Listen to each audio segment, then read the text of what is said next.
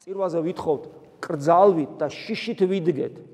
დგომით არათუ არათუ ლაპარაკი და ლაზღანდარობა და არათუ ერთმანეთის მოკითხ მიკითხვა. ეგ აქ თუ არ გაგანცდა რომ გოლგოთის წინაშე გოლგოთაზე ჯვარცმიულის წინაშე დგეხარ ან საითუმლოსერობაზე ხარ. ეს განცდა თუ არა გაგ აქ რა გინდა ხო? და არათუ ლაპარაკი დგომასაც კი მნიშვნელობა ხშირად მithქვავს ფეხები ერთად როცა დგახარ. წმინდა პაისი ველიჩკოვსი პირდაპირ აფრთხილებს. აი კერფები ქუსლები წვერები მიტყუპული. ძალიან მარტივად განიმარტება ეს. აბა უცებ წარმოედგინეთ უფალი გეცხადებათ აი ეგრე დადგები. ვერ დადგები. აი წურები აი წურები იმიტომ რომ შენ წინ დგას. galaktikების შემოქმედი.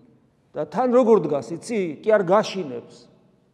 ისეთი სიმდაბლით დგას როგორც ადამიანი რომ კიდე უფრო შეშინებული ხარ. როგორც მეფე ათანასე ამბობდა აა წმინდა ეფრემ კატუნაკელზე რომ მამა ეფრემიო მე ახსარებას მეუნებოდაო როგორც ეპისკოპოსო და მე კიდეო მისიო მეშინოდაო. პიტაპერა სიტყვა თქვა ესე იგი დამოგინა აქ ადამიანი არის დაჩოქილი ახსარებას მეუბნება და მე იმის მეშინია. და რის ეშინოდა? რა შიშია?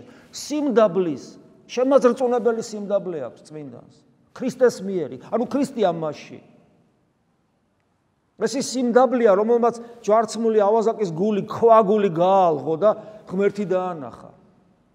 აი ეს არის. და ამიტომ ეს ეს ეს საიდუმლოება, ევქარისტიული საიდუმლოება, ჩვენი შანსია, მოკლედ რომ ვთქვა. შესაძლებლობა, რომ ერთხელ მაინც გამოგვივიდეს ისე, რომ ვიდგეთ გოლგოთაზე. უფლის ერთგულები და ჩვენმა გულმა არ იყვიროს ჯვარსაცო. არ მივცეთ მას ამის საშუალება და მთელი არსებით ეტრფოდეს განკაცებულ ღმერთს და მზად იყოს მისთვის სიკვდილისათვის რომ მისთვის მოკვდეს.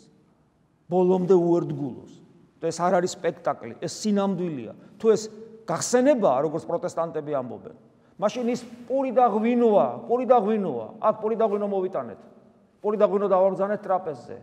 კი სიმბოლოა ქრისტესი ადამიანური ცხოვრების ბევრი რაღაცის სიმბოლოა, ბევრი რაღაცის, მათ შორის ქრისტეს სიმბოლოა. მაგრამ პური გაღვინოა.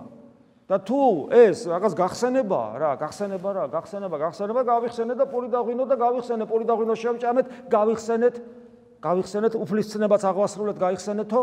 ეს არის პროტესტანტიზმი, მეტი კი არაფერი. რატომ არის პრობლემა პროტესტანტიზმში? იდეალურად აკეთებენ ყველაფერს, ცდილობენ, იხსენებენ. არა, ეს არ არის გახსენება. ეს არის სისხლი და ხორცი, იმიტომ რომ აქ არის არა სპექტაკლი, არამედ რეალურად გოლგოთა და რეალურად საიდუმლოსერობა. იმიტომ რომ საფრთხო სულია, მადლია. ღმერთში არ არის დრო. ღმერთში არ არის 2021 წელი. ღმერთში არ არის ბახტრიონი და ფანასკერტელის 9 ნომერი. ღმერთში არ არის დრო და სივრცე. არსობრივი მდგომარეობით ეს არის გოლგოთა, ეს არის საიდუმლოსერობა. ჩვენ აქ ვართ ქრისტეს წინ და იმ საიდუმლობას მივახლებით, რომელიც მან აღასრულა. და თუ ერთხელ არ თუ იქ არ გამოგვივიდოდა და საშნელი ქრისტეს კვლელობის ცოდვას ჩავარდებოდით გოლგოთაზე, აქ ერთხელ არ გამოგივა, 10 ჯერ არ გამოგივა, 100 ჯერ არ გამოგივა, 10 წელი არ გამოგივა, 30 წელი არ გამოგივა, სიცოცხლის ბოლოს ერთხელ მაინც ხომ გამოგივა, რომ უერთგულებ ქრისტეს და ასე გახვალ ამ ქვეყნიდან. როგორც ქრისტეს ერთგული და არა ჯვარცმელი.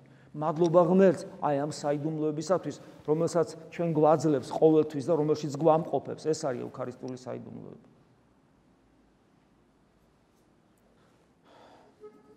შეგვეციო სუფალი და ძალა მოგცეს, რომ ეს ყველაფერი კარგად დაგვენახოს, გაგვეანალიზებინოს. და სერიოზულად მოვეკიდოთ სულიერ ცხოვრებას. სულიერ ცხოვრებას ისე როგორც არაფერს ზედაპირულობა არ უყვარს და სულიერ ცხოვრებას საერთოდ არ უყვარს ზედაპირულობა, იმიტომ რომ ისეთ ილუზიაში მოვექცევით ხიბლი რასაც ქვია. მთელი ცხოვრება ხიბლში ვიქნებით და იცით როდის მივხვდებით? როცა იმ ზღვარს მიუახლოვდებით გარდაცვალება, მანამდე ვერ მიხვდება ადამიანი. აი მე განიხიბლება, როცა უკვე საქმე საქმეზე მიდგება და ხდება ხვდება რომ კვდება.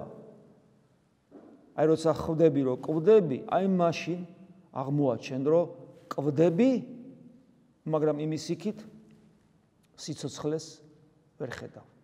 იმიტომ რომ ეს სიცოცხლე აქ უნდა დაწყებულიყო.